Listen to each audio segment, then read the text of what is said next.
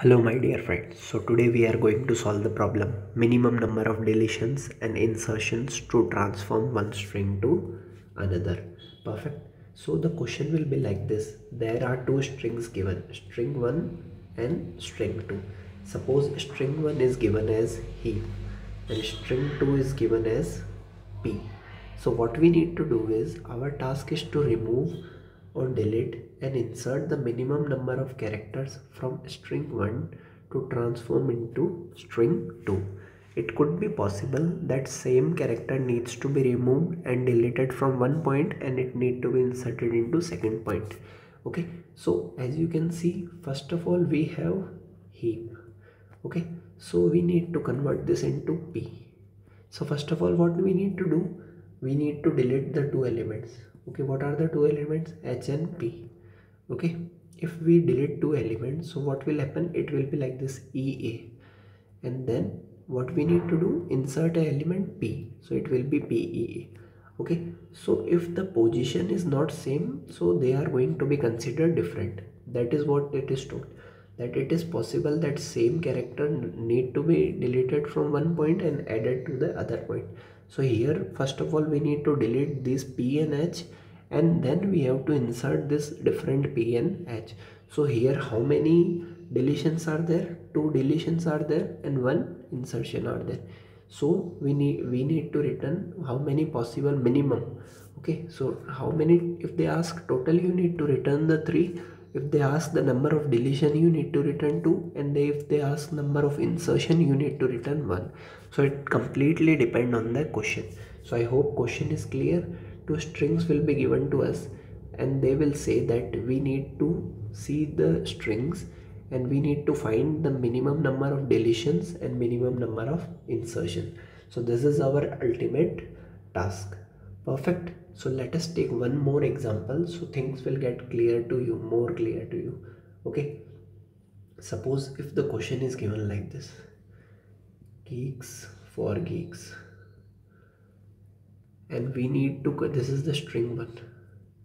And we need to convert into string 2 that is geeks. Perfect? So as you can see this is and this is, is common. So it means what we need to do we need to remove this complete entire string okay for geeks. So what will happen? To move from here to here we need to do the deletion okay. For what deletion? We need to delete element for geeks. So how many elements are there? Total 8 elements are there okay. So for the deletion what we have done? 8 after deleting the 8 element what is left the left item was geeks. Okay so if we are going to observe here also geeks and here also geeks so after deletion geeks will be left. Okay now let us observe the thing more clearly. Fine so first we have seen the example of pea and uh, heap and pea right? So how you will get what kind of things we have to do? So if you observe the first example here it is string 1 here it is string 2 but if you are going to observe this item what is this? This is the longest common subsequence. Okay ea is common in heap as well as in pea. Perfect. Here also if you are going to observe geeks for geeks and geeks what is there here? Here is the longest common subsequence. It means you got some idea that here longest common subsequence can be used. So where we are going to use the longest common subsequence whenever you say to input to string input okay whenever you say to string input so or in question if they directly ask you the lcs or if they ask you insertion deletion such types of thing then what you have to do? You have to use the concept of lcs so how we are going to use the concept of lcs i will explain you clearly. Okay let us take again example of this. Heap pea perfect. So first of all what we have done? We have deleted these two element and the one element was inserted was p. Fine. So here we have done the deletion. Okay. How many deletions are done two. Okay. And then what are the elements left? E and a. And after that what we have done? We have done the insertion and how many insertions are done? One. So what is this? Ea ea is the longest common subsequence. So suppose if this is string 1 the length of string 1 is m. Okay for here it is 4 so and what is the length of longest common subsequence? It is 2 so if you are going to subtract 4 minus 2 what you are going to get? 2 so these are the deletion. Okay sorry if i written the spelling incorrect. Okay these are the deletions. Got it let's say this is string 2 the length of string 2 is n.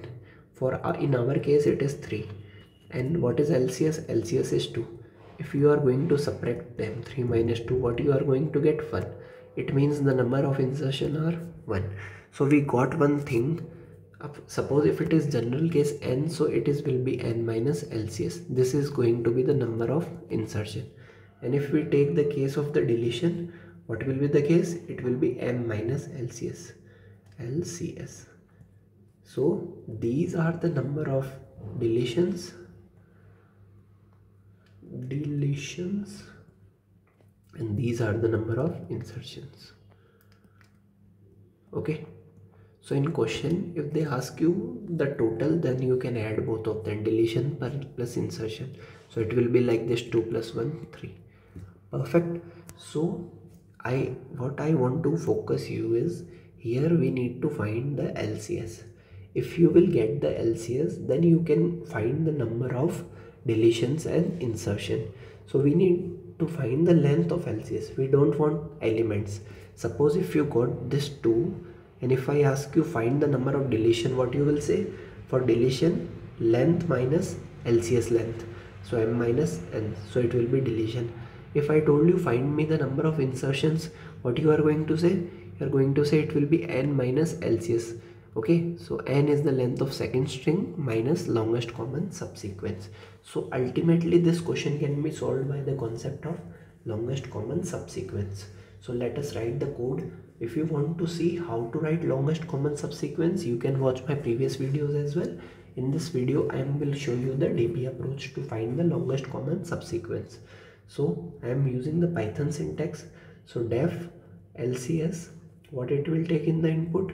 It will take string 1 string 2 m n. Perfect. These are the things that we are going to take. So uh, let me show you how to write the dp solution. So we have some steps to write the dp solution. First of all create a matrix. Matrix creation okay then we have to initialize the matrix. Initialize matrix. Then we have to apply the condition and fill the rest of element.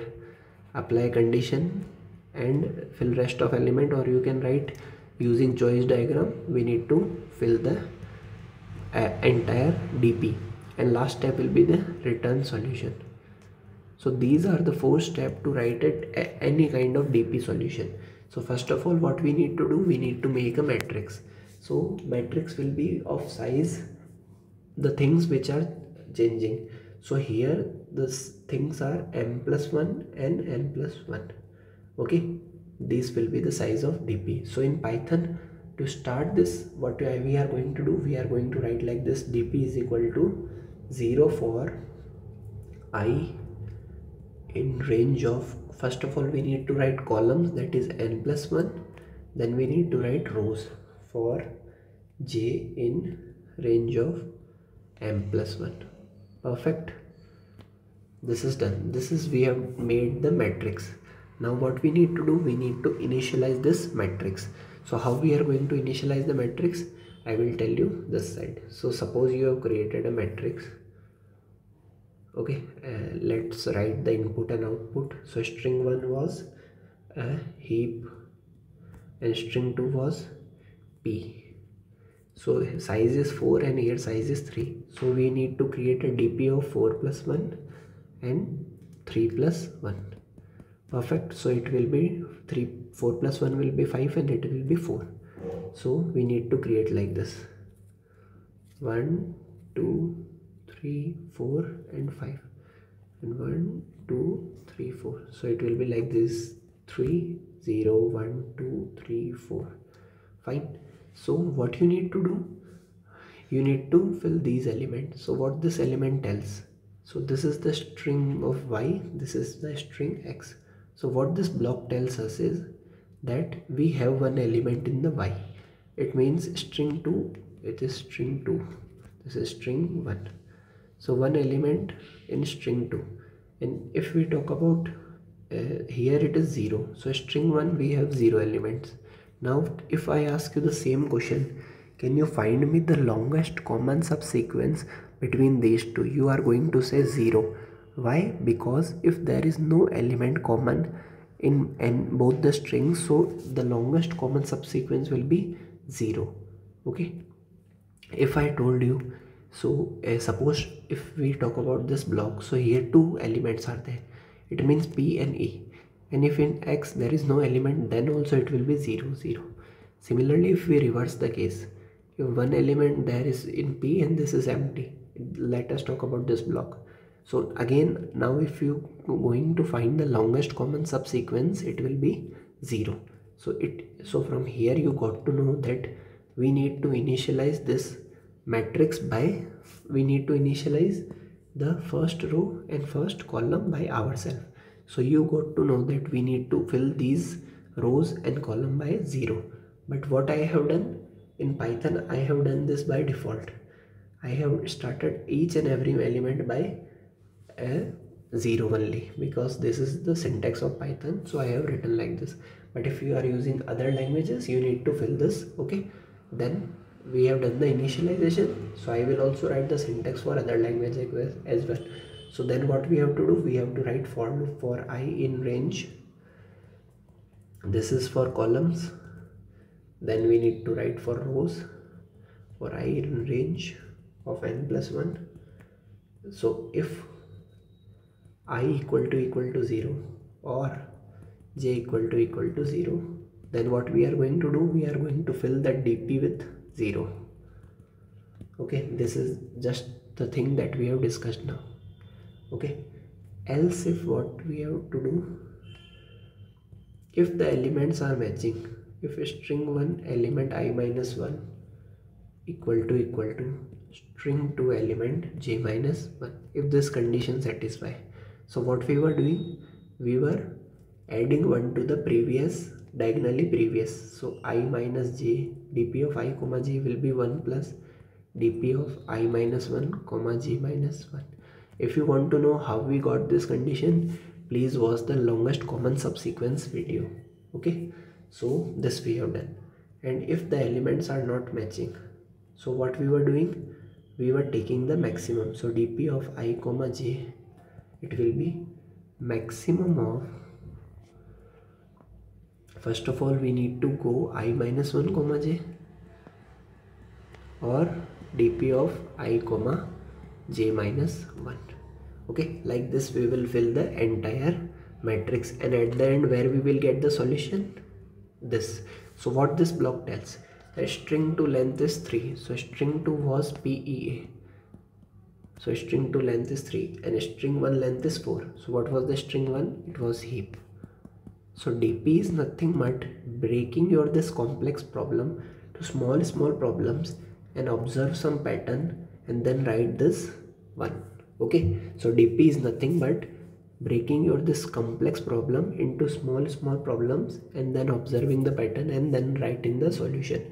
So heap and pea this is our so where we will get our solution in the last element of the matrix. So what you need to return? Dp of n comma m perfect. This you are going to return. Sorry. It will be m comma n last element. But if you get confused in python you can write like this. It will be very easier. So this is the uh, thing to find the LCS so we have find the LCS but ultimately the question was find the minimum insertion and deletion. So let us create one more function. Fine. So let us create one more function. Def min ins minimum insertion and minimum deletion. This is the function name. What it will take? Both the strings. So let us say m is equal to the length of first string and n is equal to the length of second string.